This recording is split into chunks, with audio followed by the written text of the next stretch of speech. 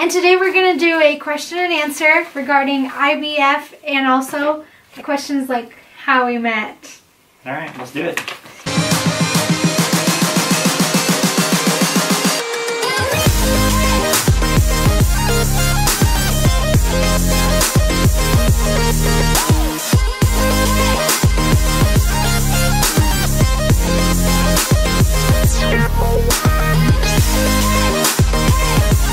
Okay, so these questions I get asked by a lot of people, and um, they're wondering why are you having to go through IVF?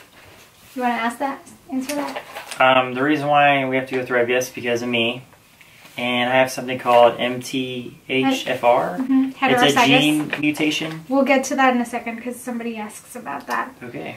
Um, so it's basically because of him, and it's not it's not anything that he did. He was just born with it, which which was MTHFR. But we'll get to it along the way because somebody did ask. How much is IVF? That is the question I get all the time. It varies. IVF is not cheap at all, and it's pretty much all out of pocket. So I pretty much wrote down how much around mine was. So doctor's visits, you you see them all the time. It's probably like 15 doctor visits, and Yeah. so it's like 13 to 1500 dollars depending on what your copay is. If you even have a copay, if you have insurance, I have United Healthcare. Um, that my company provides, so we were very lucky with that. Yeah, luckily she has good health insurance, but on my end, I don't have health insurance, so for my part, He had I had to to pay pay out of pocket for my stuff. But Yeah. was only two tests for my part. blood work. There is blood work all the time. Right now, I just got drawn. Today they drew blood out. They seriously draw blood all the time for they do all kinds of testings all the time, especially in IVF. Every doctor's visit there's a draw blood draw. So those vary. Thankfully because of my insurance they pay a hundred percent of them, so we don't have to worry about them. However, it just depends whether you do have it or you don't have health insurance. Mm-hmm. Then the medicines from 2600 to 3500 depending on the dose the doctor puts you in. IVF itself it's $8,000. That's including egg retrieval fees, IVF lab, facility education teaching fee and embryoscope and embryoscope I can't Where's the word at? embryoscopo Embryos? Embryoscope? embryoscopo whatever fee that looks weird. $500 for anesthesia because for the egg retrieval they need to put me under anesthesia and like $3000 for the base like appointment and that's the frozen embryo transfer so you're um and the uh self-pay oh and also because of kyle's issue don't say My issue. because of Ky- because of Kyle's issue, we have to pre-screen our Embryos. embryos, um, and that's twenty five hundred dollars. Luckily, luckily our insurance was able to cover it. Overall, it's like eighteen thousand dollars cash. So be aware of that. Um, how old are you guys, and how long have you, you guys been married for? Well, I'm 25. I just turned 27, and we've been married for four years, and we've been trying for Two. two years. two years. Yeah. Um, does insurance cover IVF? No, it does not. But They did cover the screening part for me only the first time. That's it. Um, how much was the medicine and will insurance cover it? I pretty much went over it with you guys. And no, insurance doesn't cover medicine. Um, but you can get discounts if you do not make money like the average the average of the American. Unfortunately, we were not able to do that. But if you do not have the money to do it, there is always another option. Always, always, always call different um, pharmacies because everybody will give you a different price and asks ask about um, if if you pay in full will they give you a discount? Um, what's their company discount? Always ask all the questions. Keep a little notebook because that's what i did and write every discount and um, and how much it is and go with the best company. And also your lab visits too. Didn't you get a cheaper price for a lab visit? no, that's that that has no. Oh, lab. Yeah, for It wasn't for, blood medicine, but it was for something else for blood testing. For blood, it was somewhere for else. you because he doesn't have insurance. Oh, yeah. That's right. So I called around different labs, like LabCorp and other places where they draw blood to test it. LabCorp was the cheapest. So call around. I mean, yeah, it's not going to kill you to call. I mean, if it's going to save you a couple thousand dollars, why not?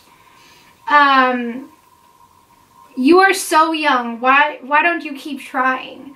Well, because of his thing that he has is the reason why we can't keep trying. Um, that goes along with the question of what is MTHFR. And MTHFR is actually a gene mutation where Kyle can create a baby with um, autism, AD, ADD or ADHD, um, Down syndrome, and that's why we have re- recurring, recurring pregnancy losses. miscarriages. Yeah, Because the way he's making the baby. they're not getting enough chromosomes, so they're either getting 22 or 24. And average, every human has 23. So um, pairs. Pairs. Um, but that's the reason why we have to go through IVF because they have, and that's also the reason why we have to pre-screen it um, before we keep this going. Why are you playing with God by choosing the sex of the baby? We are not Did playing really with God. question? Yeah, we are not playing with God by choosing the sex of the baby. Uh, actually, because we have to pre-screen it they are able to tell all the chromosomes and they're able to tell if it's a boy or a girl and they will give us a choice if they're both healthy but our decision's going to be whatever the baby it's still not 100%. It's not guaranteed. so we're just we're just going to choose the healthiest of course i want a girl and if it's a girl i'll be Boy. really happy he wants a boy but whatever is healthiest so no we are not playing with god what made you decide to go to a fertility specialist doctor that i had just kept putting me on different medicines And she was going through a lot of miscarriages too, Yeah. which is concerning. I lost four babies. So this past year itself, we lost two. One in December, around this time actually, December and then in May, in June. June. June. Do the shots hurt? Gonal doesn't hurt at all. Menopur. The first day didn't hurt for you because you had a lot of adrenaline. It wasn't so bad, and then now each day that passes, it's hurting a little more. I would say for you. Yeah. And then right after she takes a shot, she's in some pain whenever the, uh, I guess the injection goes through your body Yeah. somehow. There's a little bit of It feels like- and discomfort. It's uh the Menopur. It just feels like it's a burning sensation. The first day, like he said, it did not hurt at all because of the adrenaline, but it's starting to hurt lately. And it definitely hurts my ovaries and it keeps them bloated. And I mean, it's not Yeah. fun. And I think I have back pain. Last night I couldn't move. Had back pain too, yeah. He had to, like, right after the shots. yeah, he had to pretty much massage my back the whole night for me to go to sleep. But you woke up fine, Thank right? you. Thank you for that. No problem, babe. Um, yes, he massaged my back the whole night until I fell asleep because the pain was so bad. It really was bad. Yeah. Um, and also what helps a lot is I put ice or an ice pack in my stomach so it numbs it Mm-hmm. so the needle doesn't feel. But yesterday I forgot to put it in so I only put it in for like probably 30 minutes. seconds. Yeah. It was like 30 seconds and it hurt. So put the ice back. Yeah. How many shots is it in, it's in total? I don't know, but I Well, I haven't counted, but right now you're, she's doing two a day two a day. for a week, and after that goes to three, Three. shots a day Yep. in the stomach. With yes. Testing once a week, twice a week. The blood work Yes. with blood work twice a week. It just depends. Whenever you see the doctor, they test you. They So you. far, I've been tested twice, and Thursday, which is this Thursday coming up, it'll be three times. Yeah. Um, what is the percentage of you having a healthy baby? The doctor said 60%. So, but because of her age, we have a better factor of having a healthy baby. Um, the older you get, the, the less likely your chances are, unfortunately. But, I mean, we're still young right now, so why not go for it? And also, she And said my body. Your, your body's completely healthy, so obviously just issues with me. But it is what it is, and we've Well- been praying a lot, so hopefully God It's is on our also not just Kyle. I also have um like thick blood or no, something. I have ovarian syndrome. Oh, I forgot what's it called. P- PCOS. I forgot the name of it, but um, I don't ovulate every month. But that was one of my only things. But that one's it kind was. of minor. It's easy to. It's easy to fix. You know, with what's wrong. What's wrong? It's. Um, it's easy to fix, but every time we did do that route, we would get pregnant, She would get pregnant, but then we would lose it. and she would, she would lose So- it. No. That's one of the biggest reasons why we're doing IVF. Because it's honestly mentally exhausting and Yeah, we get excited. emotionally. the last time she was pregnant, we, We didn't even, get excited, excited. So we're just like, I- hopefully it sticks. That yeah, it. I, I pretty much went to you and I was like, babe, I'm pregnant. And you said, well, let's pray. I hope everything's okay. Like, it was no excitement. Mhm.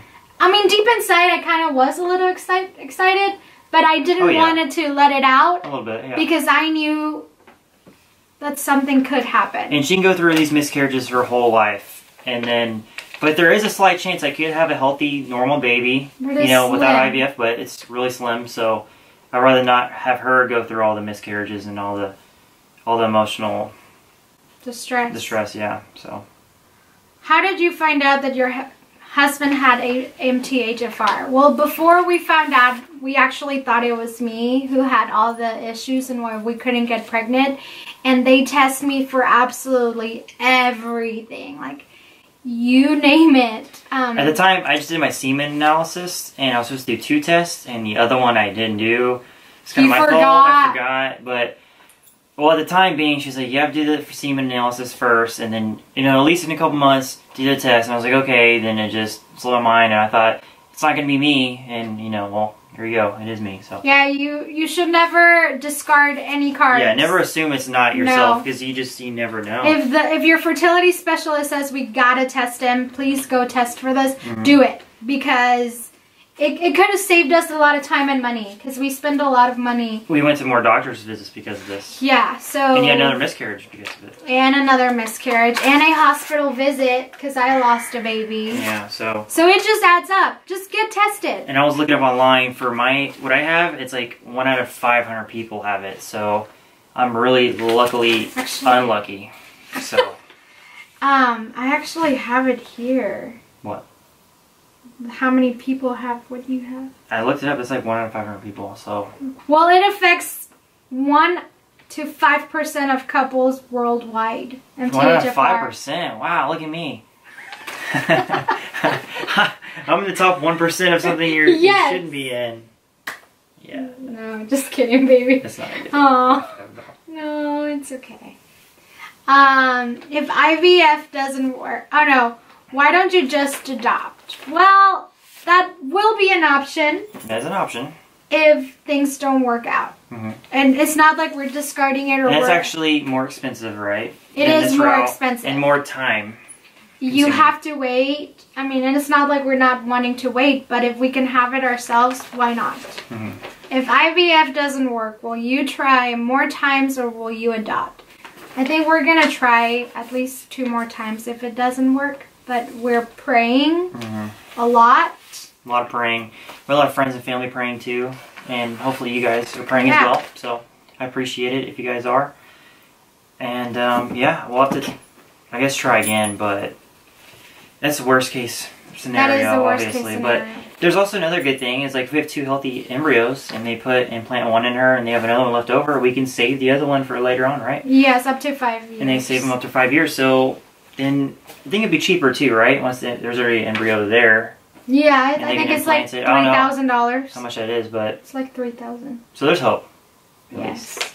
Well, if you have any other questions about IVF, Yeah. let us know. We are an open book. We know how to get pregnant really quick, what worked with us. Obviously, it didn't stay for a reason. And I really do believe that everything happens for a reason. You don't know if God wanted us to be an example for other people or to even put us closer to each other.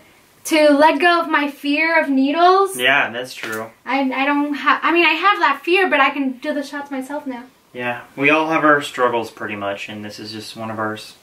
Everybody has their problems, and this was one. Um, One but bump in the road. it's a bump in the road, but we're slowly going through it. So hopefully you guys will hear good news. We will still be uploading every visit. Egg retrieval, it's next week. Not sure if it's going to be Wednesday or Thursday. That is That's a huge one. That's a big one. It's a huge one because they're going to see how many eggs I was able to create, how many eggs will be alive. I mean, not alive, but healthy. That make it, yeah. So we will update you guys in that too. And you have a sonogram too on Thursday. Thursday, What are yeah. you gonna check? to see how many eggs are there. Yeah, it's okay. And to make sure you don't ovulate because you don't want to um, ovulate because then what's the point? You know, you can't ovulate it without Kyle's sperm. They need to put it together in the lab. So that's, That's why it. that's why they gave me another shot and that's where the third one comes so I don't ovulate. Yay. But anyways, thank you guys for watching. Thank you. We appreciate everything. And um, if you have any questions, leave them down below. Don't forget to subscribe and like this button. And Yeah, just give us a shout. thanks for watching. And we are the Grazes. The Thanks, guys. And you guys, you want to meet Chico? Chico, come here. Molly wasn't in it, but Chico wasn't in it at all. She's he's such an outcast. This is her Chico. And this is Molly. Our four-legged baby. Alright, you guys. Thanks for watching. Bye! Woo!